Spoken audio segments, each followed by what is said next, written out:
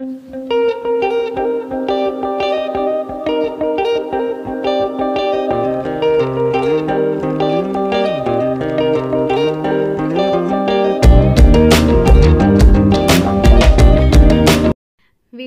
പോകുന്നതിന് മുമ്പ് തന്നെ നമുക്ക് എന്റെ ഈ ചാനൽ എങ്ങനെ സബ്സ്ക്രൈബ് ചെയ്യാൻ നോക്കാം. ഇപ്പോൾ സുജാസ് കിച്ചണിൽ വന്ന് കഴിഞ്ഞിട്ടുണ്ടെങ്കിൽ റെഡ് കളറിൽ സബ്സ്ക്രൈബ് എന്ന് എഴുതിയിട്ടുണ്ടാവും. അപ്പോൾ ഒന്ന് ക്ലിക്ക് ചെയ്ത് കഴിഞ്ഞാൽ സബ്സ്ക്രൈബ് ഇടുന്നാവും അപ്പോൾ തൊട്ടപ്പുറത്ത് റൈറ്റ് സൈഡിൽ ബെല്ലൈക്കൺ വരും.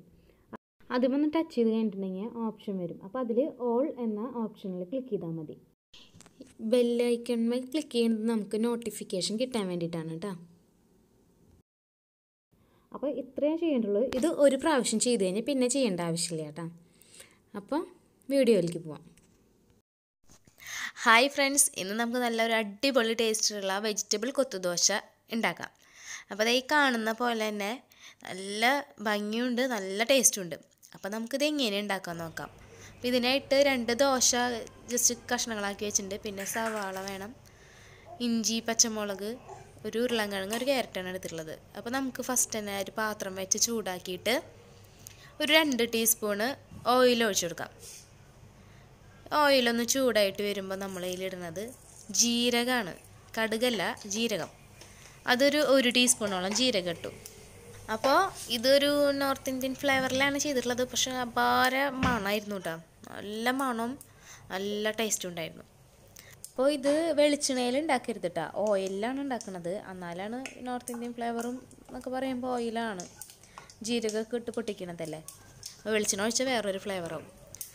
അപ്പോൾ ജീരകമൊക്കെ പൊട്ടിയതിന് ശേഷം ഒരു സവാള ഇതുപോലെ ചെറുതായിട്ട് അരിഞ്ഞത് ചേർത്ത് കൊടുക്കാം.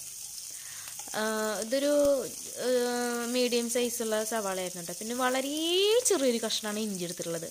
അതുപോലെ രണ്ട് കാന്താരി മുളകാണ് എടുത്തിട്ടുള്ളത്. അപ്പോൾ പച്ചമുളകാണെങ്കിൽ ഒരു പച്ചമുളകൊക്കെ ഇടുക. എന്നിട്ട് നമുക്ക് ഇതിനെ ഒന്ന് വഴറ്റിയെടുക്കണം. എന്നിട്ട് പാത്രം ഒന്ന് അടച്ചു വെക്കാം. കുറച്ച് കഴിയുമ്പോഴേക്കും സവാളയൊക്കെ നന്നായിട്ടൊന്ന് വഴണ്ടി വരും. ഇത് എനിക്ക് പെട്ടെന്ന് തോന്നിയതാണ്. ഇങ്ങനെ ദോശ ബാക്കിയിരിക്കേണ്ടായിരുന്നു രണ്ടെണ്ണം. അപ്പോൾ ഇതുപോലെ ഒന്ന് ഉണ്ടാക്കി നോക്കിയാലോ എന്ന് തോന്നിയിട്ട് ഉണ്ടാക്കിയതാണ്. അപ്പോൾ ഉണ്ടാക്കിയത് എന്തായാലും സക്സസ് ആയി. ഇപ്പോൾ ഇതേ സവാളൊക്കെ ചെറുതായിട്ടൊന്ന് വാടി വന്നിട്ടുണ്ട്. ഇനി നമുക്ക് ഇതിലേക്ക് മഞ്ഞൾപ്പൊടി ഇട്ട് കൊടുക്കാം. ഒരു കാൽ ടീസ്പൂൺ മതി. ഒരു അര ടീസ്പൂണോളം മുളക് പൊടി. പിന്നെ ഒരു നുള്ള് ഗരം മസാല അത്രയും മതി. ഒരു നുള്ള് തന്നെ ഇട്ടാൽ മതി. ഇപ്പോൾ വളരെ കുറച്ച് ദോശയല്ലേ ഉള്ളൂ. പിന്നെ ഈ സവാള വാടി കിട്ടാള ഉപ്പ്. എന്നിട്ട് നമുക്ക് ജസ്റ്റ് ഒന്ന് ഇളക്കി കൊടുക്കണം. അതിന് ശേഷം ഇതിലേക്ക് നമുക്ക് പച്ചക്കറികളൊക്കെ ഒന്ന് ആഡ് ചെയ്ത് കൊടുക്കാം. പച്ചക്കറി ഇഷ്ടമുള്ളതൊക്കെ എടുക്കാം കേട്ടോ. ഗ്രീൻ പീസൊക്കെ വെള്ളത്തിലിട്ട് കുതിർത്തിയതിന് ശേഷം എടുക്കാം. പിന്നെ കോളിഫ്ലവർ ഇപ്പം ഞാൻ ഇവിടെ ഉരുളൻകിഴങ്ങും ക്യാരറ്റ് മാത്രം എടുത്തിട്ടുള്ളൂ. ഇത് മാത്രം മതി.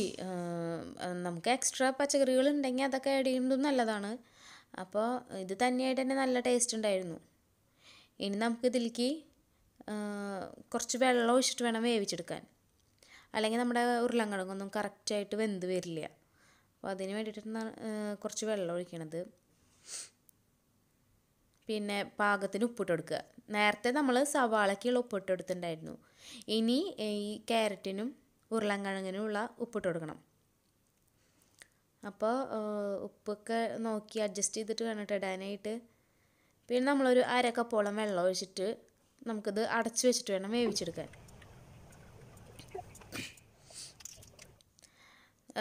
ഇടയ്ക്കൊന്ന് തുറന്ന് ഇളക്കണം വെള്ളമൊക്കെ വറ്റിയോ ഉരുളങ്ങനൊക്കെ വെന്തോ എന്നൊക്കെ നോക്കുക. വേവായിട്ടില്ലെങ്കിൽ കുറച്ചും കൂടി ഒന്ന് വെള്ളം ഒഴിച്ചിട്ട് ഒന്ന് അടച്ചു വെച്ചിട്ട് വേവിച്ചെടുത്താൽ മതി.